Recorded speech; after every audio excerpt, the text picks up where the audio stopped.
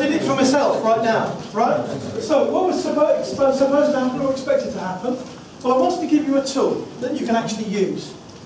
So I did my, did my presentation a different way than usual. I usually do drown people in slides. I think this record's 197 in 22 minutes. This time I did it a little bit different. So the plan was to do it with worksheets that people could actually use in hand. Uh, so what actually happened was there was a lot of noise. right? So in the sense that it worked, it engaged people.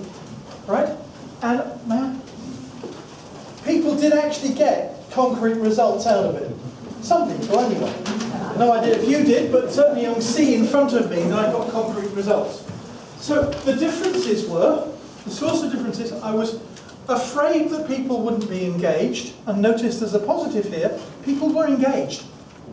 Notice something as simple as this can get people engaged. Another one was it was blooming noisy. yeah? I had difficulty getting yourself to think. We'll come back to that in a moment. That's a definite difference. So what can I learn from this to do differently next time? Well, I do need to be better at, I um, was reasonably good at timekeeping, sorry Michelle, um, but it actually did work. We got the timing right. So in that sense, I've learned that I can, can, can manage time reasonably well. But what I do need to do is to realise that you know, I've got to watch much more closely in your case, for example, that you were on your own. Me. No, no, the, sorry, I missed you. We were. Yeah, yeah. You were on your own for a while, and I needed to, I should have made sure, I should have checked for that beforehand. I need to do that quite specifically. There was a three there, which made things a bit difficult. I should have split you up or attacked you or something. What can we learn from this to do as a group? Well, one of the groups, one, the other people involved in this are the people in the next room.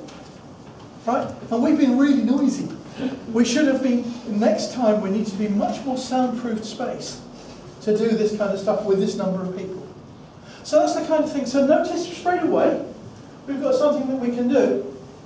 I haven't really got time because otherwise we're cutting into Michelle's. So if you've got questions, put them up on Slido. But if you've got any comments about what you've learnt about this, but notice how something this fast, if I may grab again, can give you some actual insights. If you build this as a habit every single time you do something, you can see how fast you're going to learn. Right? Really simple, really fast, really effective. You can also see how strongly it depends on those rules. Pin your stripes at the door, no blame, we're here to learn. Okay? So I hope you found that useful.